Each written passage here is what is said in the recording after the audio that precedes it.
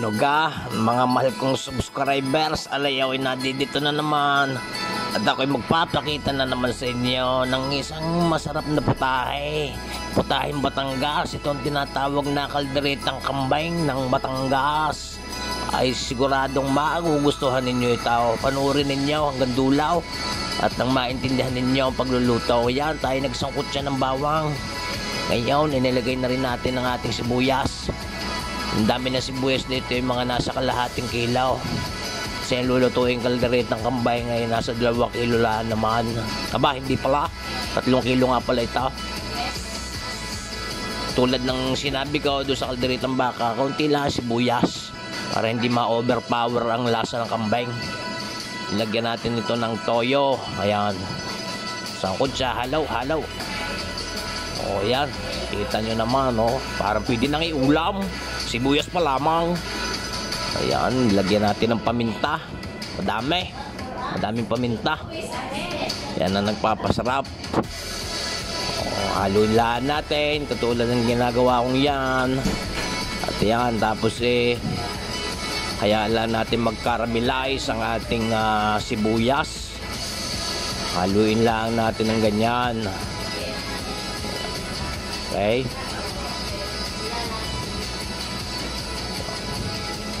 Kita nyo naman, ngayon nilalahok na natin nating kambing. Yan ay aking uh, minarinig na. Nilagyan ko tayo ng tuyaw at ng konting oyster sauce. Okay, halu-haluin lang natin. Kaya balik-balikin, balik-balikin. Ayan.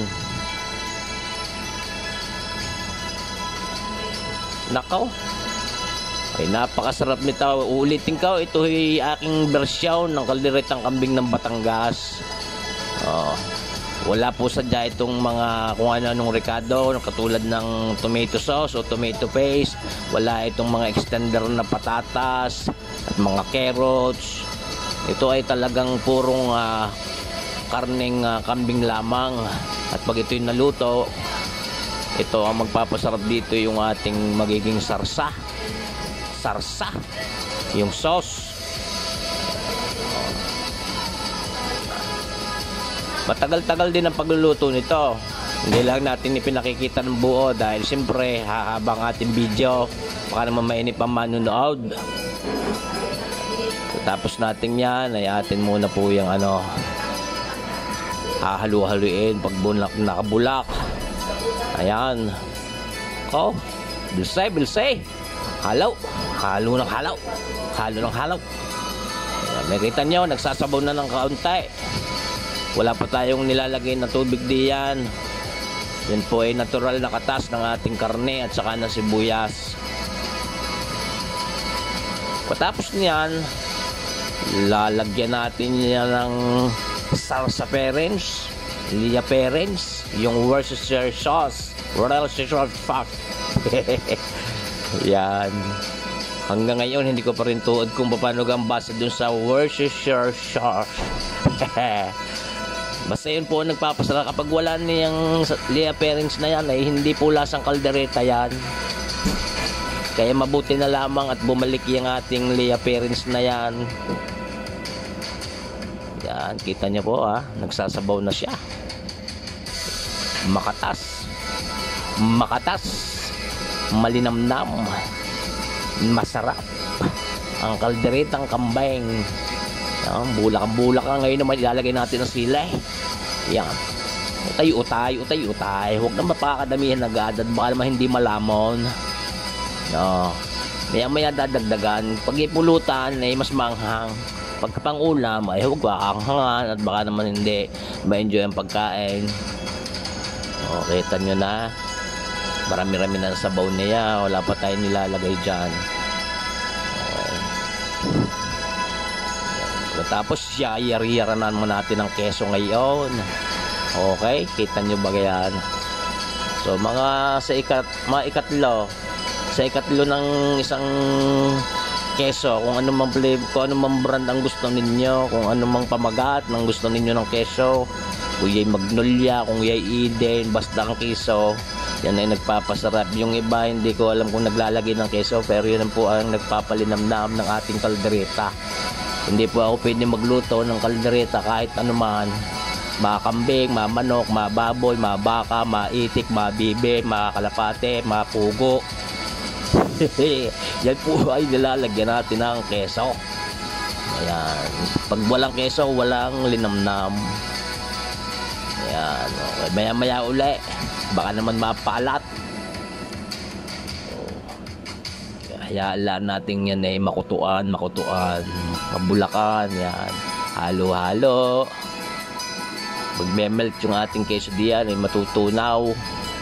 At yan ay inilalagay natin ng maaga kahit matigas-tigas pa ang karne. At nang sa gayon, yan lahat ng panimplang iyan ay tumalab na agad sa karne ng kambing habang ito ay lumalambot unti-unti.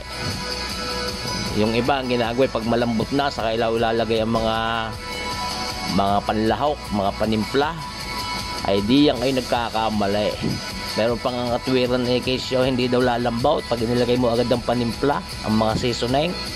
Alahaw, ikaw kaya ilagay sa apoy pag hindi ka lamambot. Yan. Halo-haluan laan natin yan. Saka tayo po, meron po tayong kanya-kanyang versyon.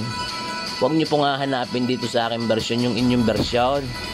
Kaya pagka kayo may mga hinahanap dito, eh di yung pagka sa inyo na. Yung inyo-inyo, di rin akin akin. Para makatarungan. Sa tingin ko yung makatarungan yan. Yan ko, medyo nagkukulay kaldreta na. Lalagyan naman natin ngayon yan ng rino. Yan. Huwag din naman pakakaramihan. At ma-overpower na yan ang lasa ng kambing. Pero hindi po pwedeng walang rino ang kaldereta. Ako po hindi naglalagay ng peanut butter sa kaldereta. Oh, tatakluban natin nang yung mapakutuan, pahihinaan natin ng apoy. Yan.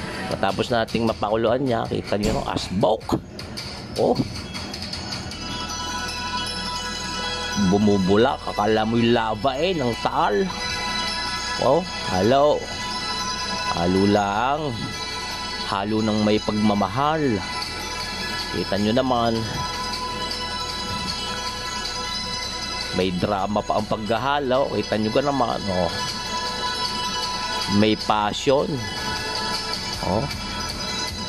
Talaga naman. Kita nyo ka mga litid. Iyan ang masarap eh. Yung mga litid. Yung mga tadyang ng kambing. Pag kinagat mo yung maligat-ligat na makunat-kunat na masarap na masarap. Yan po ang kalderetang kambing ng Batangas. Hindi po ito kalderetang Maynila. At baka hanapin na naman ninyo mga patatas at keros at mga bell pepper. Ayan. Yung binabalik lang natin. Tataklo ba ang babalikin para po pantay ang luto. Yan po yung medyo sinabawan ko na yan ng kaunti. At baka po magtutong ang ilalim may mag-aalasang sunog. Yan. Kasi yung pong natural natural na katas na yan medyo naiga na po yun kanina. Kaya yan po yung binantuan na natin ng kaunting tubig na mainit. As in mainit ha? Hindi yung uh, malamig na tubig. Kailangan, kailangan mainit ang ibabanto mo diyan. Kaya ako may nakahanda na agad diyan na pinakaluang mainit na tubig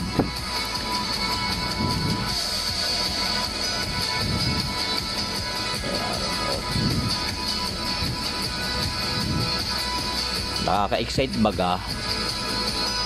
Hmm, yan. Pinakutuan ulit natin. Yan, yan unti-unti na. Yan nilagyan natin ngayon ng pickles.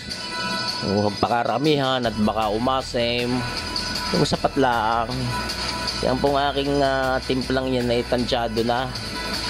Kumbaga kahit hindi na natin itimbang ang mga panimplang yan yan po ay ano na kumbagay natural na lang na lumalabas sa ating mga skills, sa ating mga talents, yung mga paninimplang yan, hindi mo para sukatin.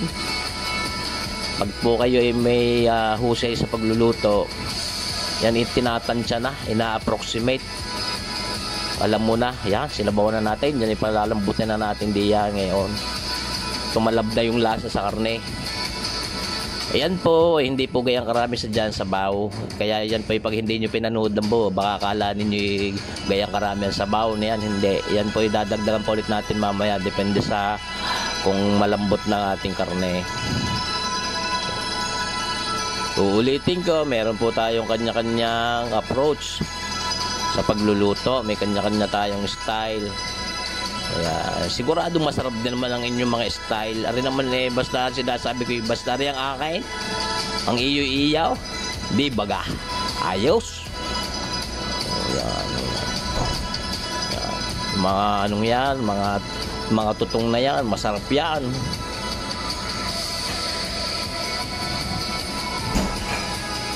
Enjoy lang po ninyong panonood.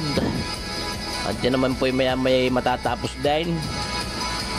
Sana po ay tayo ay uh, natututo rin sa ating mga pinanonood na ito. Ito po ulit ang ating tinatawag na kalderetang kambing ng Batangas. Yun. Ayos. Gumaganda ang kulay. Nagkukulay pang ulam na. Ikaw, titikman, titikman ko. Anong kulang? May kulang. Oh, may kulang. Nilagyan ko ng oyster sauce.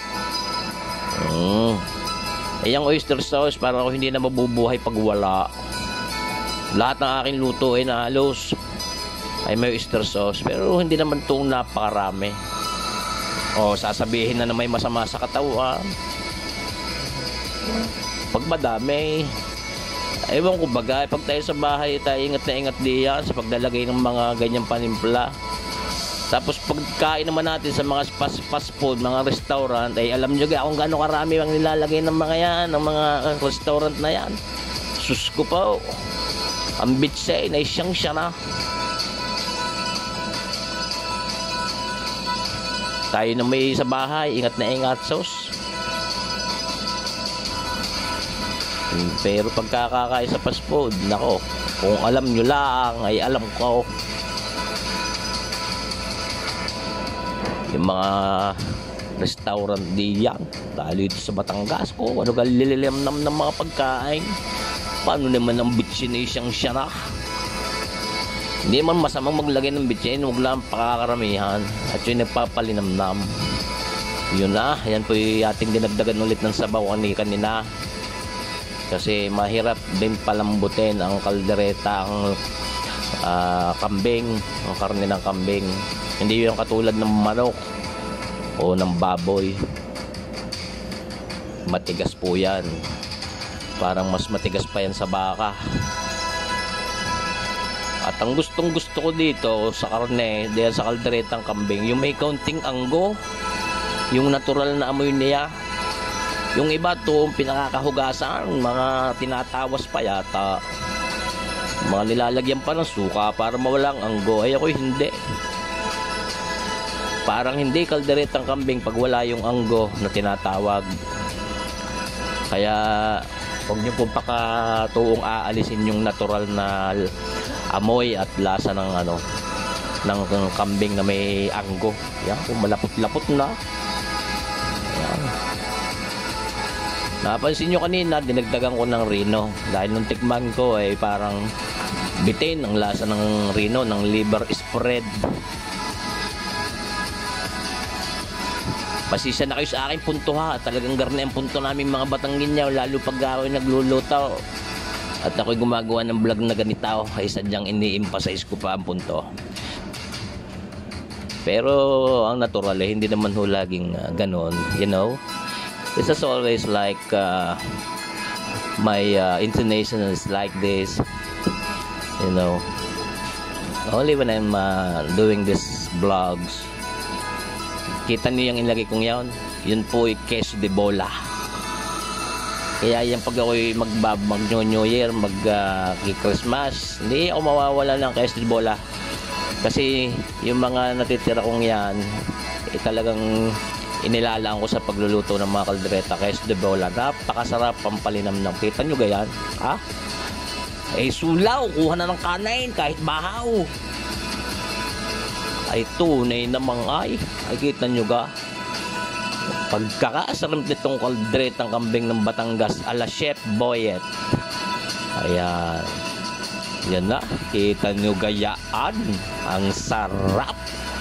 Tingin ko na may itsura pa lang ay kayo mapapatakap ala salamat po sa panonood. Maraming salamat sa inyong lahat